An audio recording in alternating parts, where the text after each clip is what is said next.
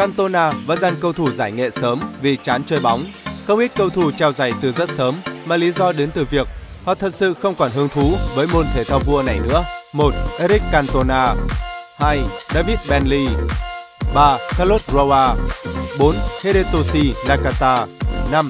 Philippe Cristanvan 6. Danny Osvaldo 7. Curtis Woodhouse 8. Francesco Coco 9. Espen Basson 10. Remco Evenepoel. Bóng đá 24 giờ, sống trên đường pitch.